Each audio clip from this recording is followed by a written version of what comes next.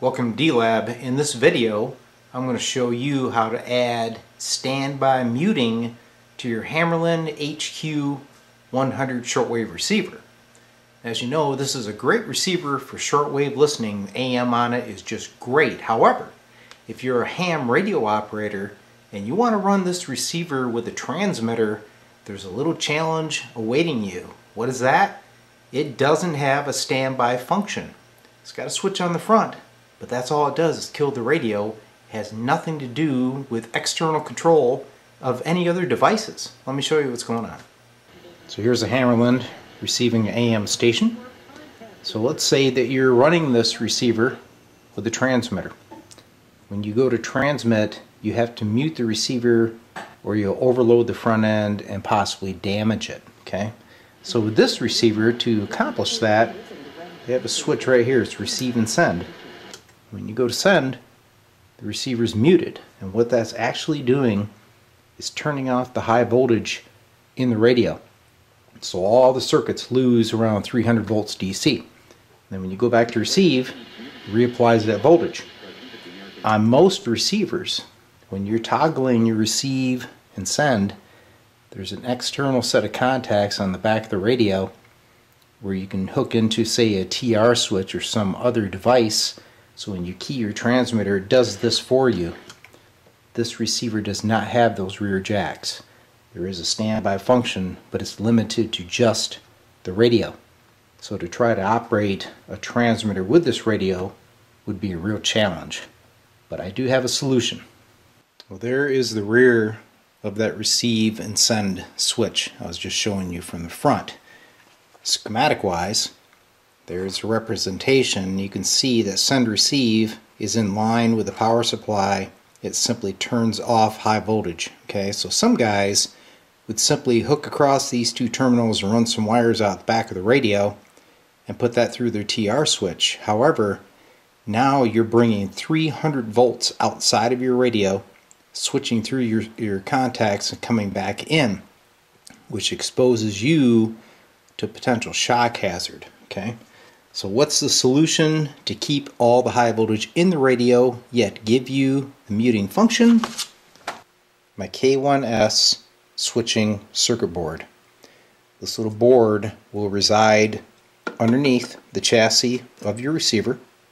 You'll simply have a RCA jack on the back panel that you ground and that activates this board.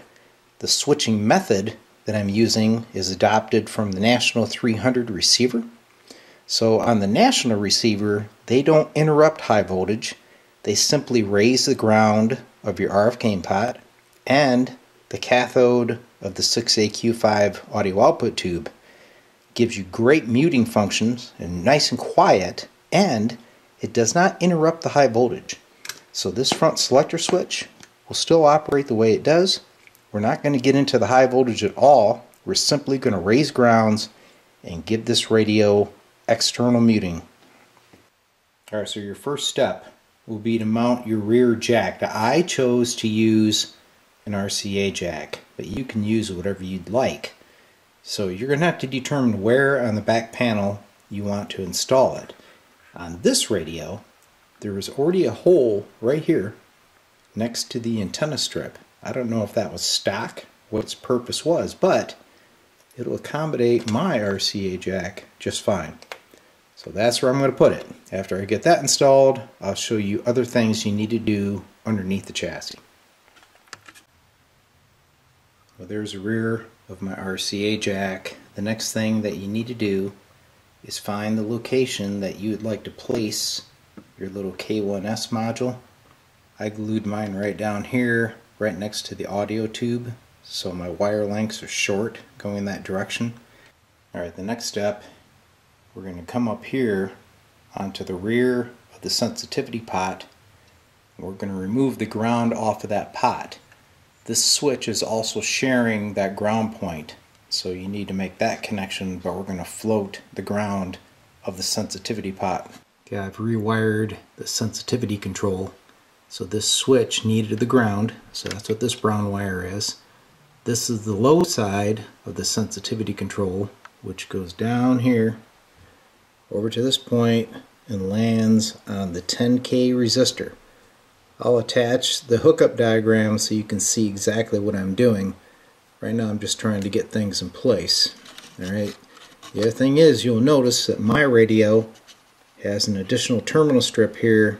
This is the cathode resistor and cap for the audio output tube. I installed this earlier with some other maintenance I was doing, but I have this loop. That's the ground loop. I'm going to lift that to break the cathode connection to the output tube. And then we're going to route that and the sensitivity over here to the K1 board. So I have one half of the relay contacts hooked up right now on the K1 board. Alright, so what that's doing is it's grounding the cathode resistor and the low side of the sensitivity pot. This wire here is ground. This is our switched line and we're across the normally closed contacts of that relay. So when it keys, this one will open, raising the ground on the cathode and also putting 10K resistance in line with the sensitivity control, which will mute the receiver. This half of the switch we're going to wire the other way. It will be normally open. The ground is also going to go here, and this line will go to your antenna input jack. So at the same time that this opens, this one will close and short out your antenna terminal coming in to protect the front end from RF. That leaves us with these three wires. The blue wire is going to go up to our new RCA jack. Black wire is ground. I'm probably just going to swing him around and tie it to that ground tab. And then the green wire is filament voltage. We just need to steal that off of one of these tubes. Alright, so the power's hooked up, stole the filament supply right off of the 6AQ5 output tube. My ground is over there. Blue wire goes up to the RCA jack, which will key our little module. Now I'm getting ready to hook up the antenna shorting contacts. Okay, This is an option. National did not do this, and other receivers also do not short the antenna input on mute. But I think it's a good idea and when I do it I like to use this RG174 coax. So I'm going to go across the contacts here. The other side will land across the antenna strip. So when this guy keys this opens this will short. Okay mission complete the K1 board is installed wired into the RF gain and the cathode of the audio output tube. Got our coax here that runs up to the rear of the antenna terminal strip so when you key it that will short. Blue wire going to our external RCA jack and that is what activates the board when it shorts. I'm going to fire it up. I'll show you the voltage that's sitting on the RCA jack and demonstrate the muting of the HQ100. Okay, I've got the receiver powered up. Here is the voltage on the RCA jack, which is just under 17 volts. So your TR switch will provide a ground. So you're going to connect the center to the shield and that will activate the mute function. Let me show you how that works. Alright, so the receiver's on. Got a station here on the AM broadcast band. Now I can go to send and that's the same as it was before. Okay? But now, if you have a transmitter hooked up, I got a little jumper wire in here. Okay? I'm just going to short out that RCA jack. Here we go. And there it is muted. And there's a receive. Mute. Receive. So now you can use your Hammarlund with a transmitter.